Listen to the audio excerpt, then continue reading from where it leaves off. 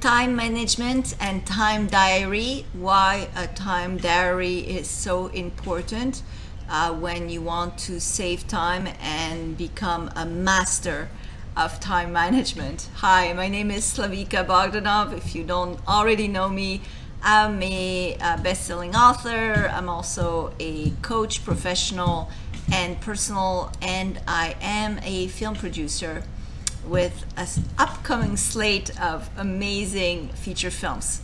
So, what is a time diary and why is so important to have one uh, if you want to save time and uh, become a master of your time?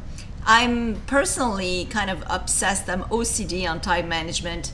Um, and I've studied time management for uh, a decade now, if not more uh, to know more on how I can save time, how I can improve my um, my my uh, my use of of my seconds, my daily seconds, and how I can do more in less time. So I've been studying everything that has to do with uh, with molding time, uh, with uh, with with warping time to our needs, and I I I'm pretty proud of my accomplishments because I feel like I'm doing much more than the average uh, Joe in terms of uh, saving time and doing more. And why do we want to do more? Because I love doing nothing. So I feel that if I do more, um, in my day, then I have more uh, free time on my hands on top of having done more. So I feel even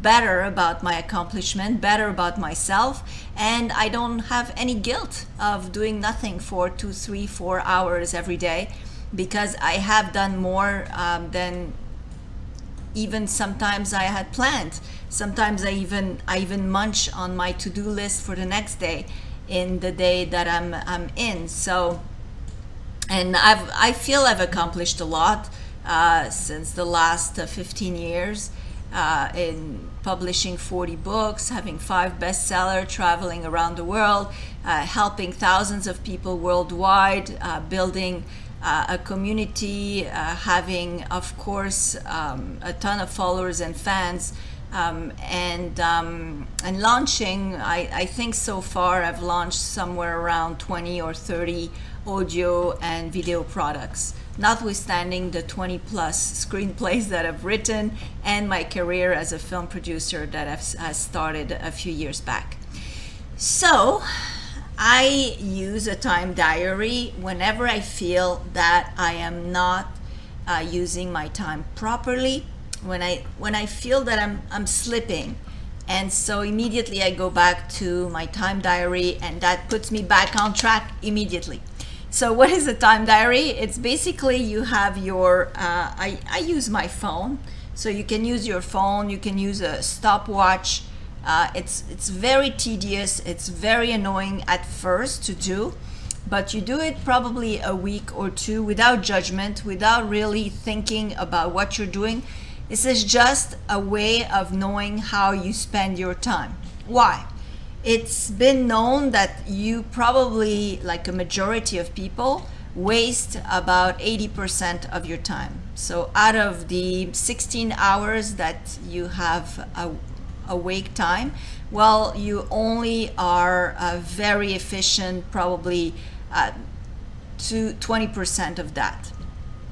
So that's really nothing and the rest of the day well you uh, do nothing that will serve you on the long term that will serve your goals that will serve your success. And we're not only speaking about business goals about money finances we're also speaking about health goals about relationship goals etc etc so what is a time diary? So you will use your uh, your your uh, either your your phone or, or a stopwatch and you meticulously write everything you're doing throughout the day and how long it took you to do what you do.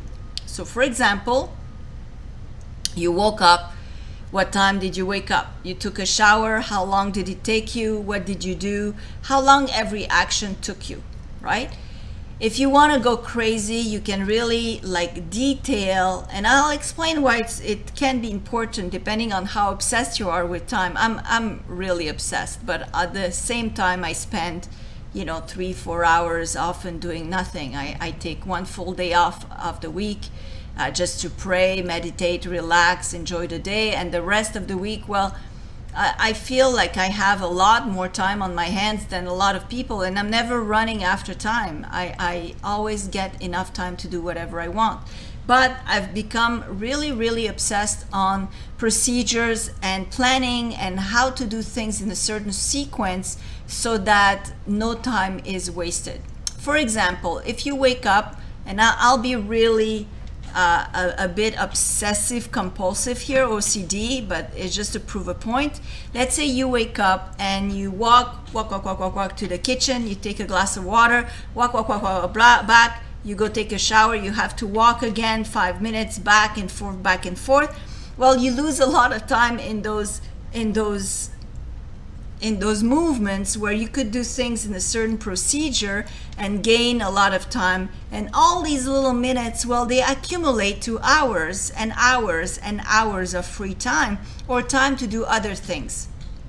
So or if you spend, let's say, 10 minutes on Facebook, well, you write down 10 minutes here, 10 minutes there, and you'll figure out that at the end of the day, you might have spent three hours on Facebook that you could have done something else with that time instead of wasting it clicking on likes on cats and dogs uh, videos, right?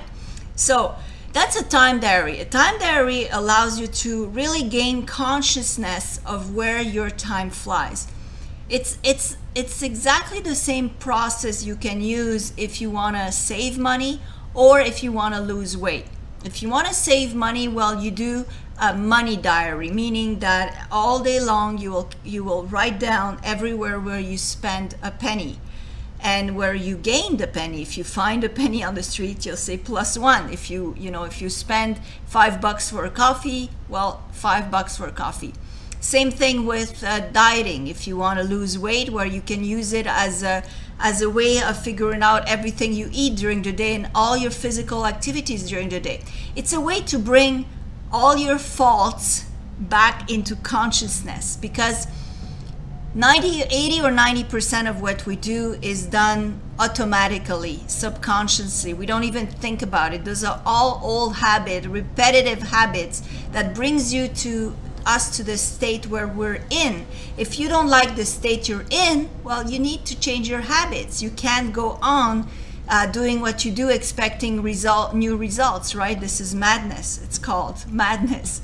So, uh, in order to change your habits, you actually need to bring them back into consciousness. And a time diary, that's what it does. It brings back those habits into reality, into consciousness. So you write down everything you do throughout the day and you do this for a week or two weeks without changing anything at first. The first is really observing.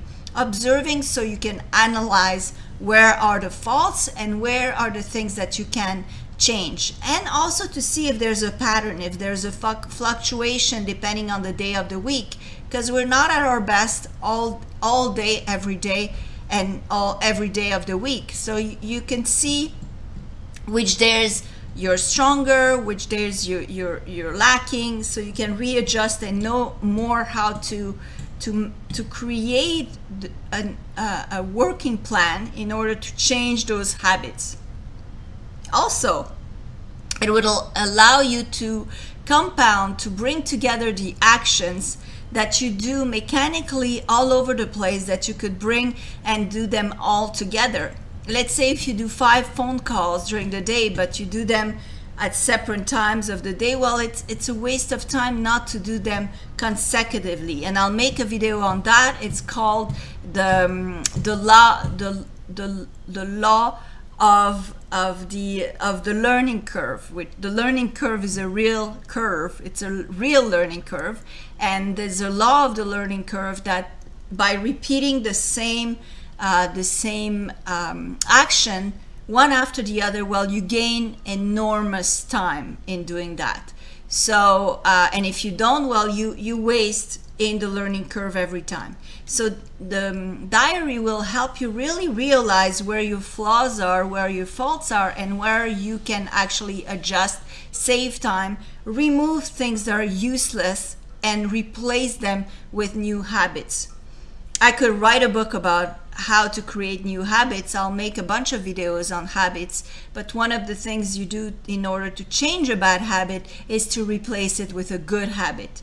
And eventually, well, that gets anchored into your behavior and it becomes, again, a conditioned action, something that you don't even think about, something that comes up uh, subconsciously, a habit that comes naturally within the day. And slowly but surely, you will bring the your your time management back to a level where you are more productive you do things better and you gain a lot more time and you can do nothing more often which i hope i wish you. So i hope this video helped. If it did please click like please comment uh, share subscribe. And of course if you need coaching let me know. Um, I do take clients from time to time. So if it's your case, I'll be happy to help you manage your time and um, and get to where you want to go much faster at lightning speed. Thanks. Have a great day.